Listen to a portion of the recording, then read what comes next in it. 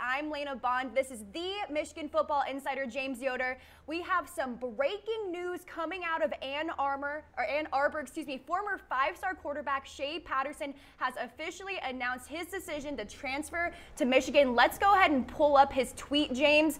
What can you tell me about this? Well, I thought it was going to happen yesterday. As I reported in my Michigan football rumors roundup this morning, uh, it sounded like everything was a go to commit yesterday and indicate to you know Michigan that he'll be in school in just three weeks later. That's how crazy this is going to turn Wow. around. He'll be enrolling in Michigan, be on campus in three and a half, four weeks from now, and you know he will be able to compete in spring practice. But he told the Michigan coaching staff as he left yesterday, he was with his parents, that he wanted to talk to his brother, who has been his like default QB coach since he was about 10 years old, his older brother, uh, who was on the Ole Miss staff in one of these support specialist roles. Uh, and then he's got two, he's got another brother and then two sisters actually. He wanted to take time to call the family, let them know. Uh, it sounded like his entire family was behind him going to Michigan, given their, uh, you know, their grandfather's affinity for that part of the world and him playing for the Pistons. And it sounds like he was able to get those calls out this morning and go ahead and, uh, and make this decision. Now, what this signals to me, as I put in my article this morning, is that he is free and clear to enroll at Michigan as a student. Now, that doesn't mean that he's going to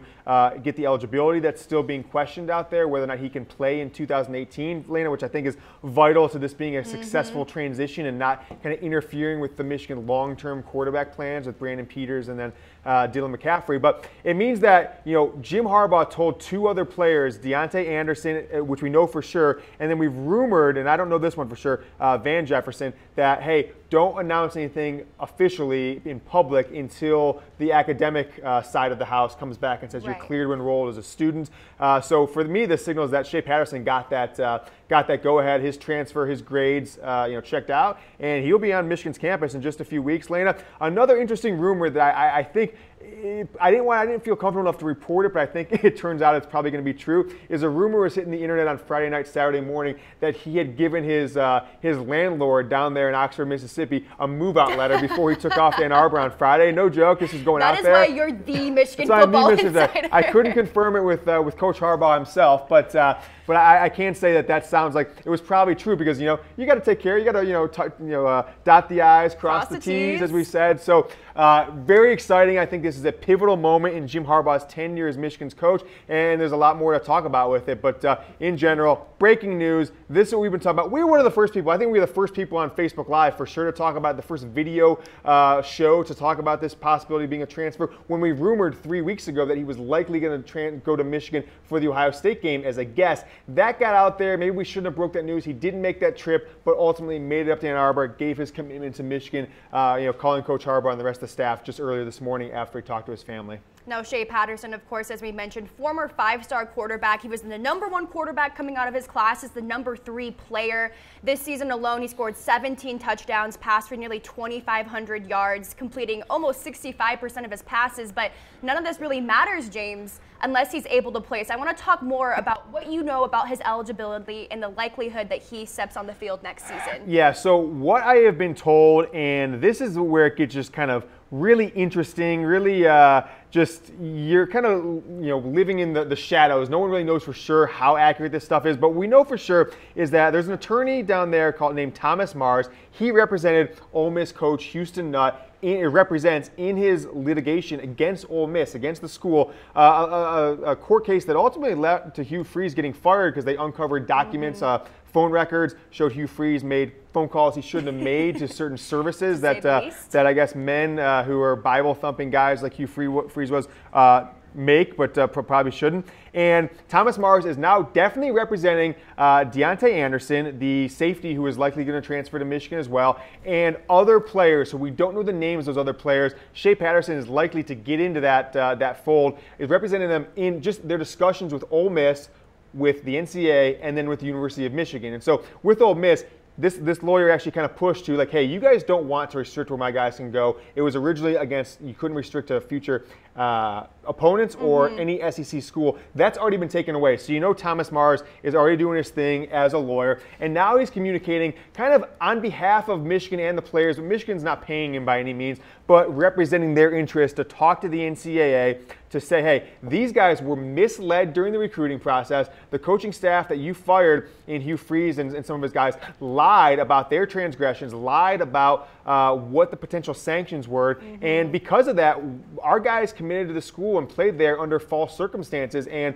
because of that, you should let us, you know, approve an appeal to allow. Um, uh, to allow Shea Patterson, Deontay Anderson, Van Jefferson, and as many as you know, several dozen other Ole Miss players to get instant eligibility to be able to play in 2018 for the University of Michigan. So with that, uh, a lot of stuff happening, and I think there's some more things we can go into. It was a wild weekend for Shea Patterson. It seemed like a real fun weekend. So he was spotted all over Ann Arbor doing a variety of things around the Michigan campus. So what can you tell us about his visit this weekend that really secured his transfer, James? So here's a picture of him in the game with uh, with Deontay Anderson. But I think we want to start. I kind of want to recap the weekend, kind of play by play. So we arrived at seven o'clock uh, uh, on Friday night, and then there was a video of him in the big house on Saturday morning. It was actually taken from Deontay Anderson's Snapchat account. Uh, we were the kind of the only the only company that put it out there on Twitter, did the old uh, record this bad boy. And this is Shea Patterson. Unfortunately, we don't get to see him throw it here, but I, I think the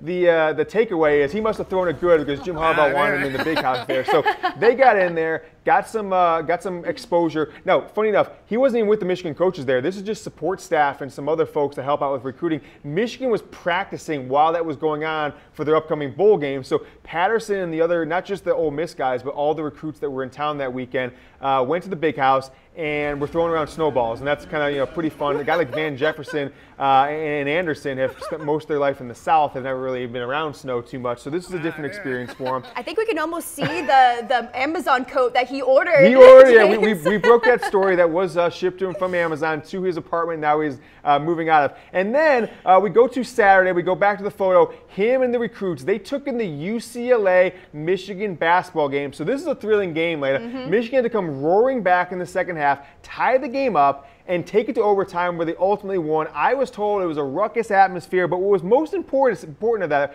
is that the student section, which you kind of sit, seated, you know, caddy corner from, they were sitting in the baseline. The student section is kind of in the corner towards the end behind the Michigan bench.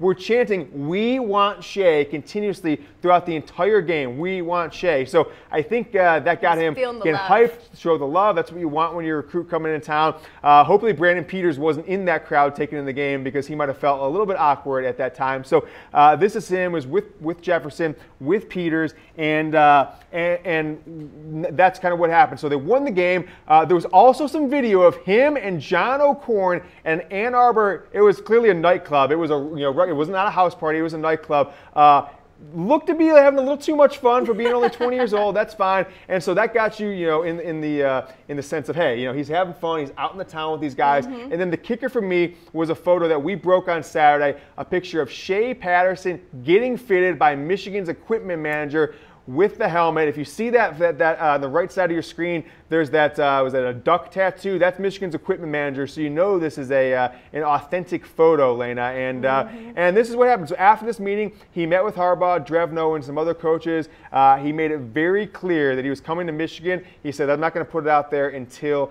I'm able to talk to my brothers, talk to my sisters, let my family know. I don't want them to find out about it on the internet. And, uh, and with that, um, you know, Michigan is, is got the quarterback of not even the future, Lena. This is the quarterback of the present. I think it's very, very likely that Michigan is going to uh, land. Um, uh, I'm sorry, he's going to have him eligible for uh, next year, and he is going to be the starting quarterback uh, of the football program starting September 1st on the road in South Bend. Talk about a, uh, a debut game for a quarterback like Shea Patterson. And you, know, you look at this 2018 season, Lena, there was really only two positions Michigan was kind of lacking, uh, you know, clarity when mm-hmm. it came to being a national championship contending program. We know how good the defense has been. We know that's national championship contending. It was the quarterback position really held them back from winning against Wisconsin and Ohio State in the last couple weeks of the season, and then also the tackle position. So this solves one of those problems. I still think there's opportunities with a couple of Ole Miss player, one much more likely than the other,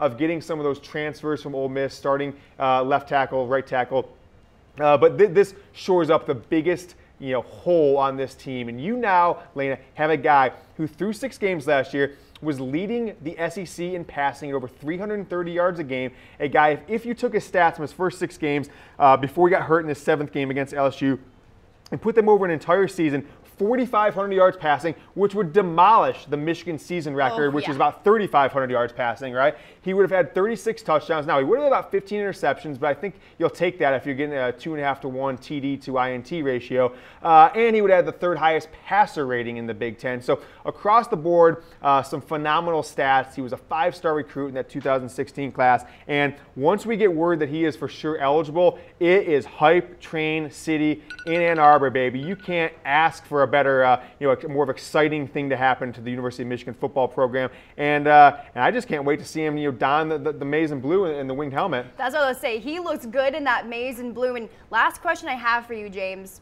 Does this make Michigan a national title contender? I think it's got to. If, if he is eligible, and you're also going to get, I think, Van Jefferson, Deontay Anderson, I think you've got at least two starters with Anderson and Patterson who are an upgrade from what you would have had coming back. And Patterson, I think, a big upgrade from what you had coming back. And then Van Jefferson, a guy who has proven it. He has been on the field. He has 100 plus catches in two years, uh, at, at, or around 100. I think it's 99 catches in two years at Ole Miss, which is much more than any wide receiver that Michigan's going to count on next year. So I think you can kind of pencil him in. If he's not a starter, he's going to be your, your, your three wide. With Patterson, and this is one thing we haven't talked about yet, uh, Patterson was told by Michigan that their conventional offense of, you know, especially this year, of you know, under center, two tight ends, two wide receivers, etc. That's not going to be the offense they would run under him. They put it a lot more into shotgun, uh, a lot more three and four wide receiver sets, and I think it was enough to get his uh, his commitment. So we will talk more about Shea Anderson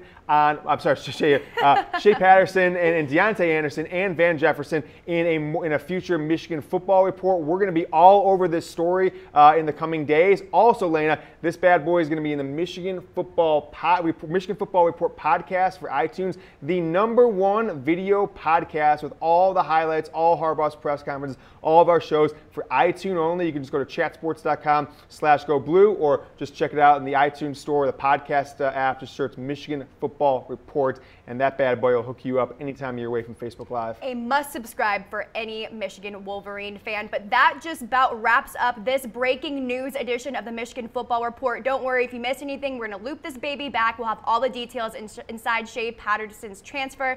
But until then, I'm Lena Bond. This is the Michigan Football Insider, James Yoder. Thanks for tuning in.